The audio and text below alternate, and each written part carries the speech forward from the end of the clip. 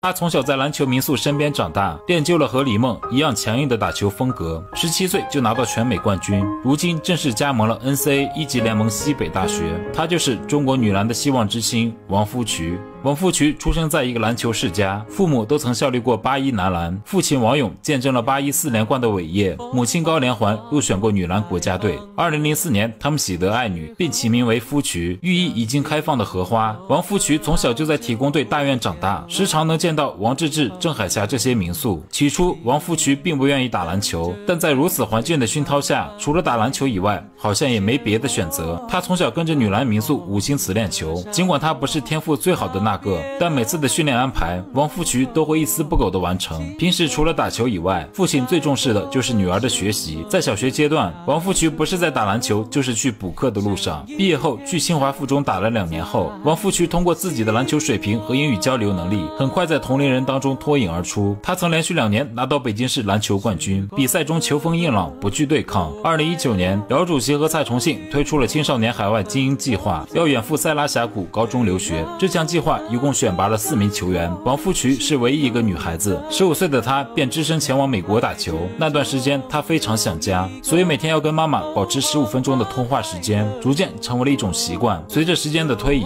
王富渠也慢慢的学会独立生活。她不仅要兼顾个人的学业，还要在打球上付出双倍的努力。在塞拉斯峡谷高中，王富渠和 NBA 球员阿里纳斯兰多夫的女儿成为了队友。但论天赋而言，王富渠并不算出众的那个。他身边的四个队友都是未来的。准 WNBA 级别的球员王福渠甚至连球队第二得分点都算不上。他平时问教练最多的问题就是：我要怎么做才能？